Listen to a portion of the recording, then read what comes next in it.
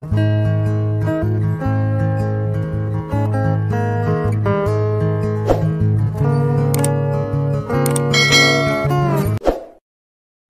semua, Assalamualaikum. Hari ini Dapur Umi Ulfa mau masak menu yang sangat simpel, praktis, dan enak. Ini sambal goreng kering udang rebon kacang tanah dan ini rasanya pedas Nah untuk tahu resep dan cara buatnya simak videonya sampai selesai ya Jangan lupa subscribe, like, komen, dan share video ini ya Terima kasih untuk bahan dan bumbunya di sini simpel banget. Ada 100 gram udang rebon, 30 gram kacang tanah. Untuk bumbunya ada bawang merah, bawang putih, cabai merah besar, cabai rawit, garam, dan kaldu jamur. Nah, untuk pertama di sini langkahnya saya akan haluskan dulu bumbunya. Ini saya masukkan dulu ke dalam blender ya semuanya.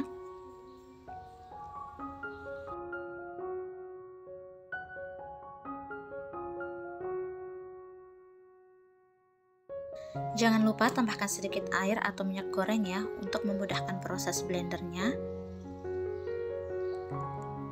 Dan ini bumbunya sudah halus, ini sudah siap untuk ditumis. Sekarang saya akan lanjut ke step berikutnya.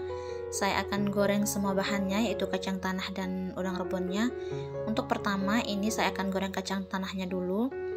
Dan tips untuk menggoreng kacang tanah supaya tidak muncrat atau meletup, ini harus terus diaduk dan menggunakan api kecil api sedang cenderung kecil dan tetap diaduk nah ini kelihatan kacang tanahnya sudah mulai kecoklatan. Ini tandanya sudah matang. Dan sekarang ini siap untuk diangkat dan ditiriskan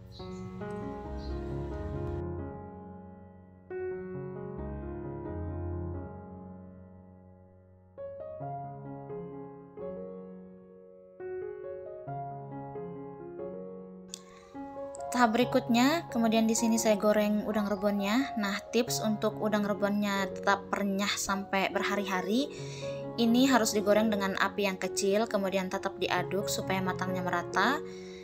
Dan digorengnya ini sampai teksturnya benar-benar ringan, kemudian nanti pas ditiriskan ini harus ditiriskan lebih lama sampai benar-benar minyaknya itu titis, nggak ada yang netes, supaya nanti renyahnya ini awet.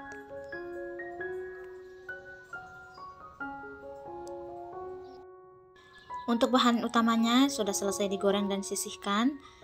Kemudian di sini lanjut ke tumisan bumbunya. Ini bumbunya saya akan tumis sampai tanak dan mengeluarkan minyak supaya nanti hasil dari sambal goreng kering ikan rebon ini lebih awet.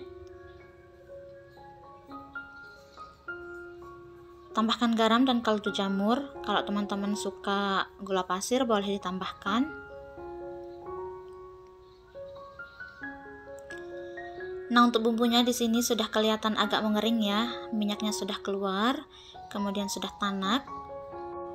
Kemudian masukkan udang rebon yang sudah ditiriskan lumayan lama dan kacang tanahnya juga.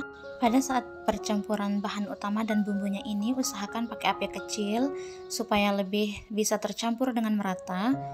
Dan ini bumbunya supaya nggak gosong ya. Dan cukup dimasak sebentar saja.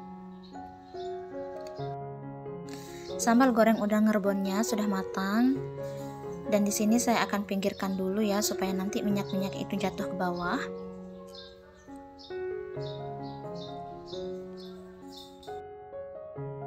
Sambal goreng udang rebon kacang tanahnya ini sudah siap untuk disantap. Ini rasanya enak banget, perpaduan rasa gurih dan pedasnya ini menyatu. Nah, buat teman-teman yang pengen masak udang rebon, jangan lupa cobain resep yang satu ini ya. Semoga bermanfaat dan selamat mencoba. Wassalamualaikum.